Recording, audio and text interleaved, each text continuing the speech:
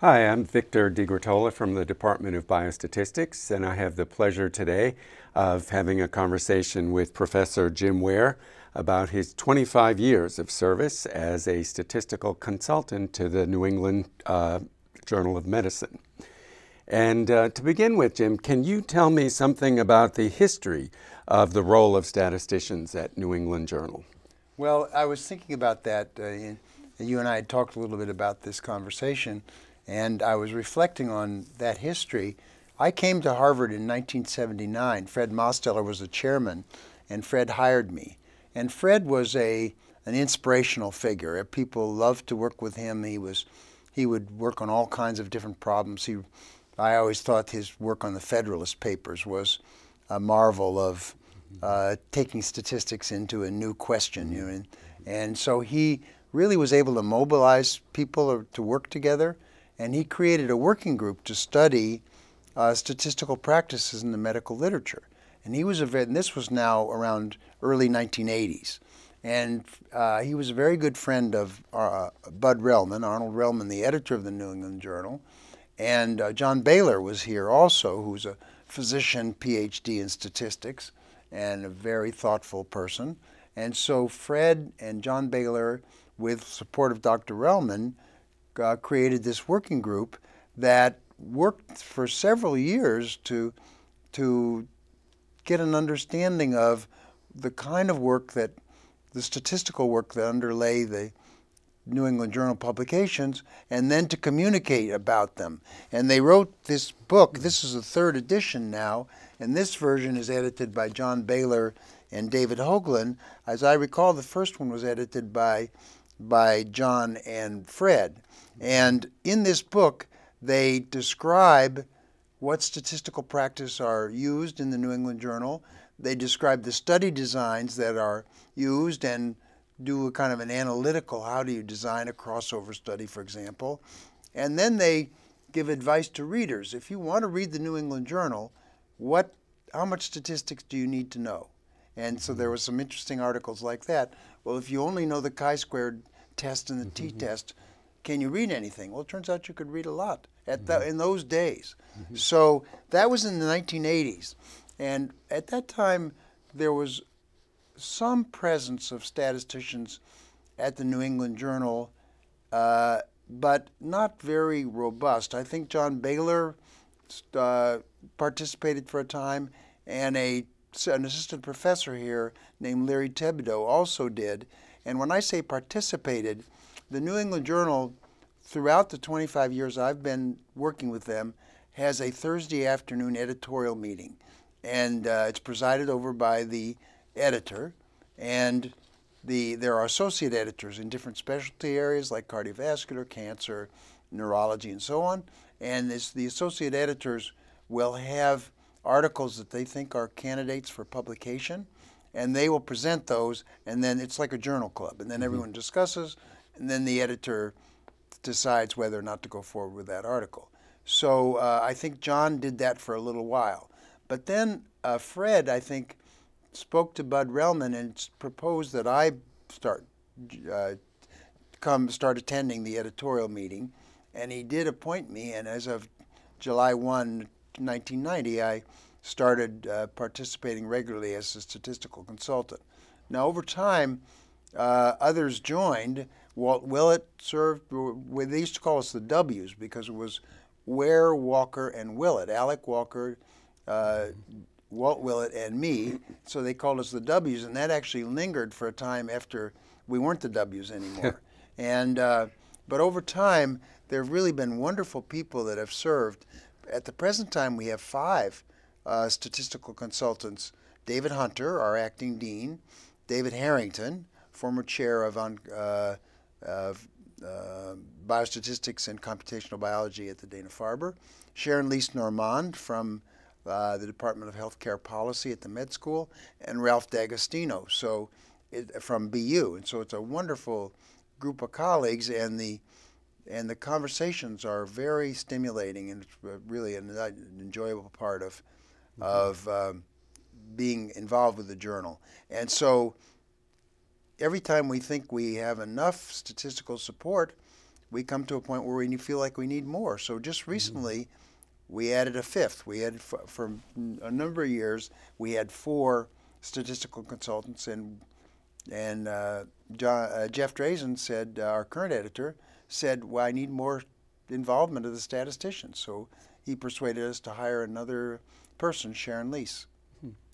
Well, it certainly sounds like New England Journal has been at the forefront of engaging statisticians in the broad question of how to evaluate and make decisions about publication of manuscripts. And it sounds like you've been uh, a very big part of that um, process. And so, can I ask you a little bit more um, about what your responsibilities were as statistical consultants? You've talked about the interactions with the editorial board. So uh, the way the way hmm. the process, very briefly, is that articles. the, the New England Journal gets about fifteen thousand submissions a year, and it publishes about two hundred.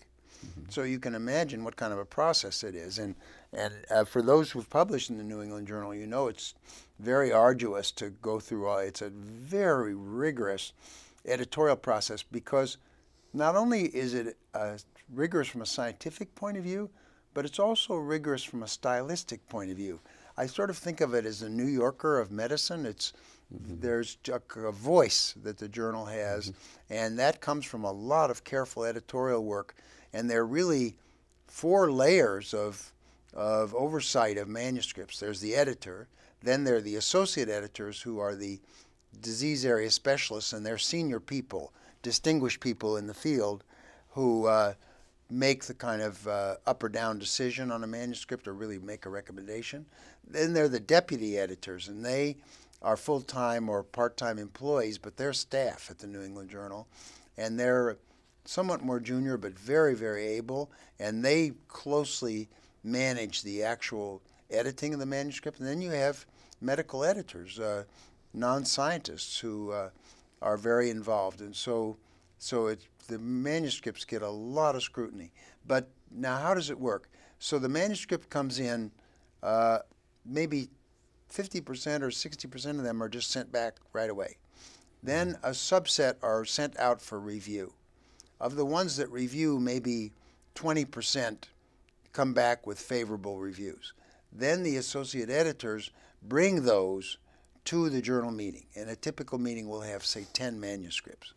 And uh, then at the at the meeting, the the manuscript is presented and uh, discussed, and then Jeff decides based on the discussion whether it's something to be published in the New England Journal. And at that point, the statisticians get involved. We don't actually review manuscripts until they've been judged of interest from a substantive point of view. And the criteria the journal has are for choosing manuscripts to me, the two that stand out are first, is it right? So they really uh, obviously don't want to be publishing misleading information. But the other is, will it change medical practice as the short term? Is it going to make a difference? Is this manuscript going to have impact? So those are the criteria that are used to just choose the manuscript that are going going to be considered further, and then we review them carefully and probably eight or nine out of ten of the ones that make it to that stage will make it past us, but with oftentimes a lot of uh, input about the manuscript. Uh, and mm-hmm. maybe one out of ten, or periodically one will just will say, even though you liked it, mm-hmm. it's flawed, and then it'll be rejected. Well, in, at that um, stage of the process, uh, do you interact with the authors and let them know if you think that other methods than the ones they've used might be more appropriate? Well, we don't. Or whether their claims are too strong. Right. We rarely interact directly with the edi- mm-hmm. with the authors. That's the responsibility of the deputy editor. Mm-hmm. So, on occasion, when it gets to be a difficult issue and the authors are resisting and are not persuaded, then mm-hmm. uh, the statisticians will be asked to join a conference call, for example, with the authors. But in my experience, I, that'll happen once or twice a year for each consultant. Mm-hmm. That something rises to that level. Ordinarily, the we write very so when we review the manuscript, we, as is customary with all the journals, prepare a detailed review with comments to the editor and comments to the authors, and then that's submitted to the to the authors, and then they respond to that. So ordinarily, the communication is electronic and on in writing, not by telephone or in person. Nice. Well, it's fascinating to uh, learn about the book, uh, Medical Uses of Statistics, Yeah. and the role that New England Journal played in um, actually bringing together statisticians to review what the practice was and what the practice, um, uh, how it might be improved. Given your long experience with New England Journal, can, and, can you talk a little bit about how the type and range of methods that have been used in biomed- publishable biomedical research Yeah. have evolved over time? The New England Journal, I think, is probably less. Uh, you're less likely to find a sophisticated statistical method in the New England Journal than you would be in some of the specialty journals. Uh, in part because the New England Journal is wanting to communicate to a broad audience. Uh, it's a general medical journal, and so it doesn't want to get too technical. But uh, the so you know the I was thinking about this question that sort of in the 80s was the period when surprisingly uh, regression and statistical methods of that type only made their way into general medical literature say in the from in the late 70s early 80s it was uh, uh, you know relatively late in some points of view. But you know, if you if you thought about descriptive methods and regression methods, including survival, uh, logistic, linear, and so on, that probably covers 90% of what's published in the journal.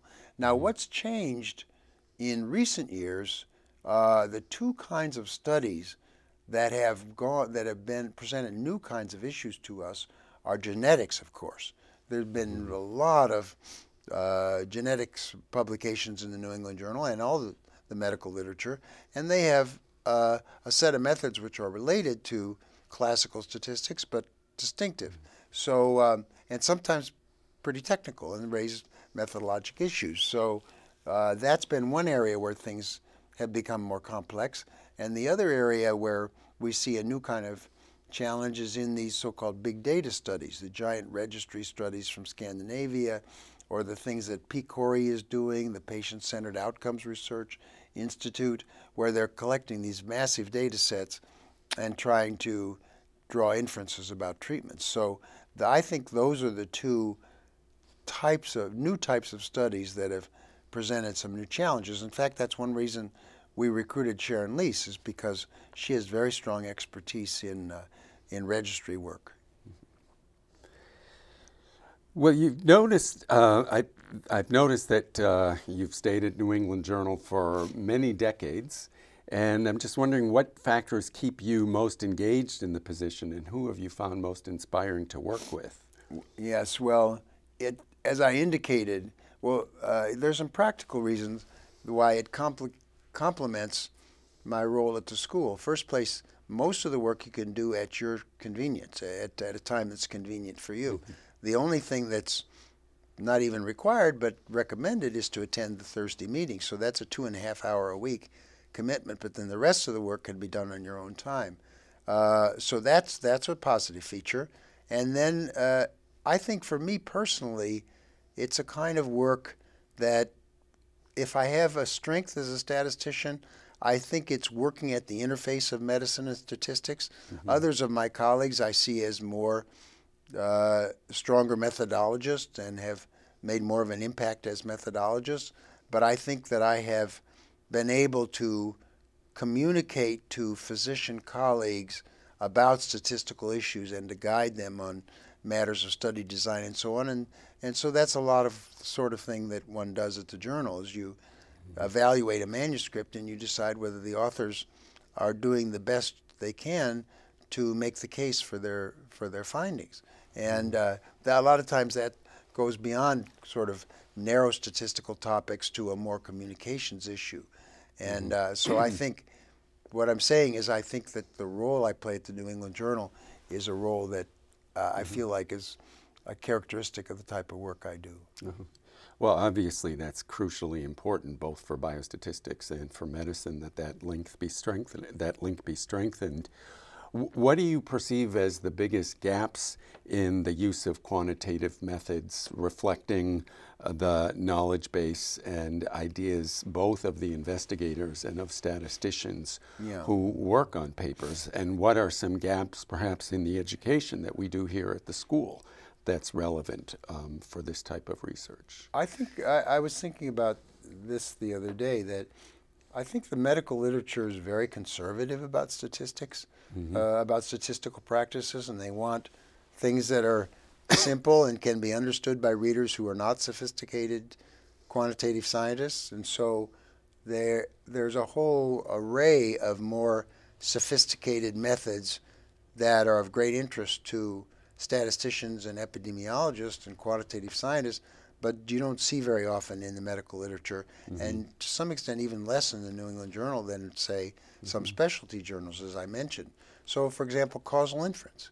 Mm-hmm. Uh, you know, it's a really important area, and I've been so taken by the work on how to think of, about clinical trials from a causal point of view when there's substantial non-adherence to the assigned regimens.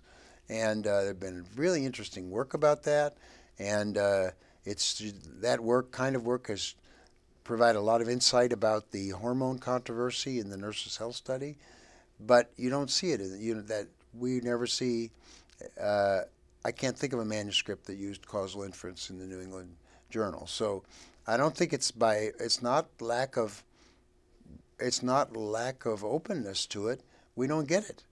Mm-hmm. That type of manuscript doesn't come to the journal, it seems. So I think there's a, a level of more complex statistical methods, particularly that have emerged over the last decade or two, that have not made their way into the general medical literature. Mm-hmm. That you don't see them in a, in the New England Journal or Lancet or JAMA. Well, I think that's a really interesting point and an example of where more communication and education might potentially improve um, the uh, interpretability and reliability of some results. I wanted to follow up a little bit with an issue of missing data. Of course, I directed a statistical coordinating center for the AIDS Clinical Trials Group for um, um, many years. And uh, the problem of missing data arose in almost every study. Yeah. And yet, the canonical analysis is treat all the missing data as though it were missing completely at random, right. even though that's the strongest assumption. Right. And even though there are many methods, including uh, those deriving from causal methods, the doubly robust estimation, mm-hmm. as well as um, uh, multiple imputation, uh, many methods for dealing with missing data. Uh, and a particularly large contribution has come from statisticians actually here at Harvard. So I wanted to get your thoughts of where you um, see uh, the um, applicability of uh, analyses for um, missing data, how widely these methods are being applied or should be applied from your perspective. Well, that is an interesting example. Well, um, back, it must be at least 10 years ago now, maybe 15, we received a manuscript on the Atkins diet, which, mm-hmm. as you recall, was quite the hot topic at that time. Mm-hmm. And it was a manuscript that was, I thought, quite instructive because it basically showed that over the course of a year, um, the Atkins diet did not have sustained effects on weight. And, uh, but it also didn't have uh, the kind of adverse effects people were worrying about. In any case, there was a huge amount of missing data. So the journal was, the editors were going to um, reject that manuscript because of the missing data. And I argued, and sometimes this is the way I've behaved as a statistician, I argued that it was a really important contribution to uh, the debate about diet and health, and that despite the paper's flaws, we should take it. And then I was asked to write an editorial talking about the unfortunate, uh, unfortunately poor retention of study participants that made it impossible to do anything really sensible about the missing data. Mm. And uh, the paper got published, and it was the most frequently cited paper that year in the New England Journal.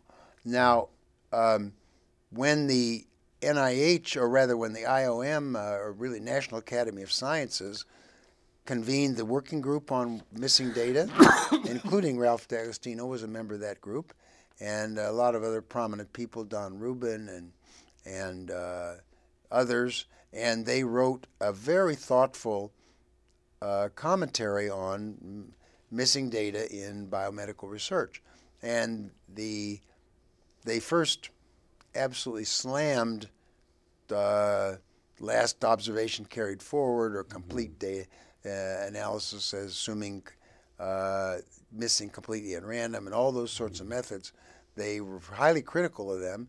And then they talked about the role of likelihood based methods, not so much about causal inference, but they did then acknowledge that the uh, that when you have substantial missing data, at a certain point, there's no methodologic way to overcome that with precision, and so then they recommended sensitivity analysis mm-hmm. as a kind of when you're really in that situation with a lot of missing data, you should do sensitivity analysis to assess how sensitive your results are. And then the, we, uh, the statisticians at the journal, wrote a uh, short commentary saying that the journal endorsed their recommendations and would uh, follow their guidance in terms of uh, missing data in future manuscripts. And so we have, I think, strengthened our attention to missing data.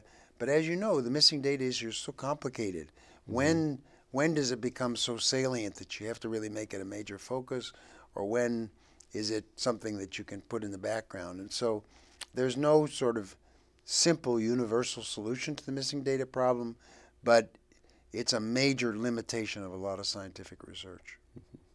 Well, it sounds like that might be an area where developing some guidance would be useful.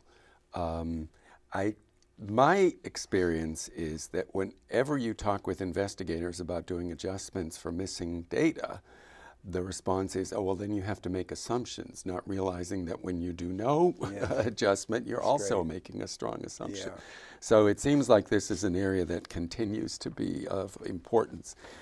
I wanted to um, just ask um, uh, about what you might see as your most important contribution to the New England Journal. I know you've spoken a lot about the contributions that you've made, both through um, communication and education of investigators and of editors.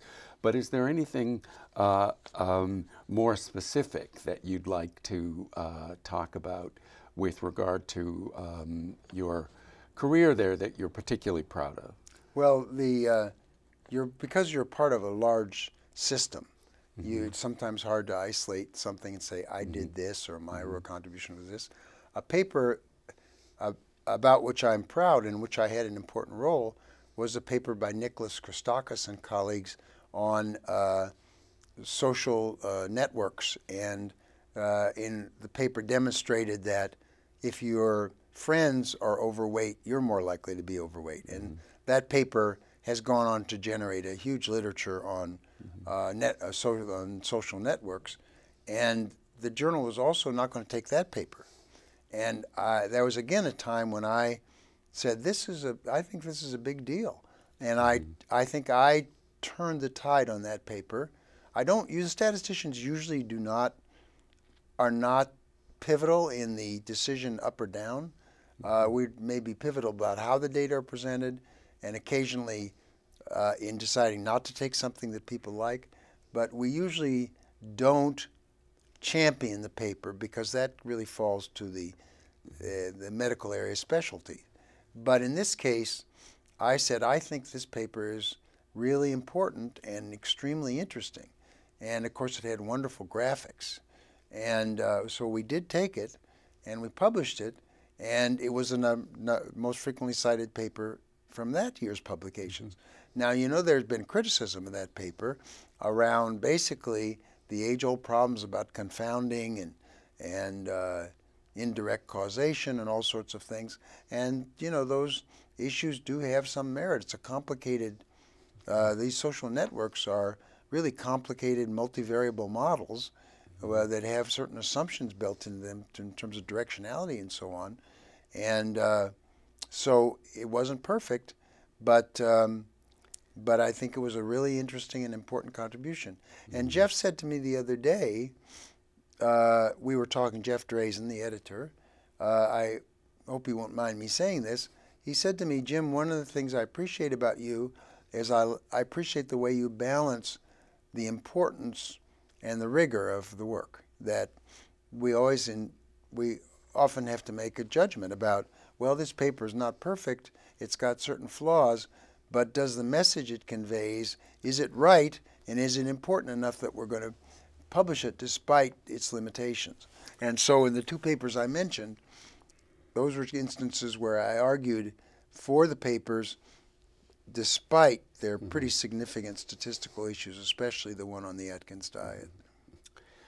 Well, I might say they're particularly of interest because of those statistical issues, because in fact, I know that paper has helped to um, uh, encourage uh, research in exactly the area that you're talking about, confounding for highly dependent data and uh, network um, models. That's a great point. And um, in fact, we're planning a workshop here this spring to discuss exactly those mm, issues, bringing wow. people around, from around the country. Wow. And I know that people uh, here at school, like Tyler VanderWeele and mm-hmm. some of his students and proteges, have gotten engaged in part from mm-hmm. that work. I always think of biostatistics a little bit like Scrabble. It's nice when someone has a word that lets other people build on it, yeah. even if they didn't use all the high value letters for their yes. word.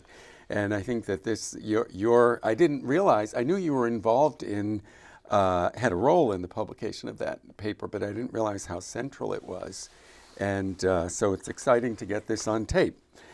Um, you've obviously had an enormously varied career. As you've mentioned, you've been an educator, uh, a dean at the school, and um, also very involved in the Catalyst program for translational research, uh, and um, obviously a major role at New England Journal. How have you uh, seen the synergies among those different roles? How has your New England Journal experience impacted your teaching, what you teach and how you teach it, and vice versa? How has your role as an academic teacher of biostatistics impact your work at New England Journal? What's fortunate about what you do is you get to see both ends, mm. um, both the education and then the consequences of the education uh, in the way that it plays out in, in uh, manuscripts. Well, I, I'm never, I'm always dissatisfied with my teaching. Mm-hmm. I mean, I feel there's some people that are, seem to be gifted teachers and can just so easily connect with students and mm-hmm. and communicate to them. And I, I don't feel like I've I've never felt that I met that criterion. But I've cared a lot about teaching and I put a lot of effort into it.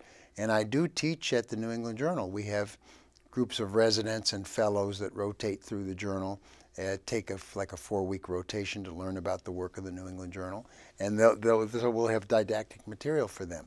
So I will teach them, and I will teach them about uh, non-inferiority or about pragmatic trials or sort of what something that's not your sort of basic fare, but something a little more uh, sort of second level.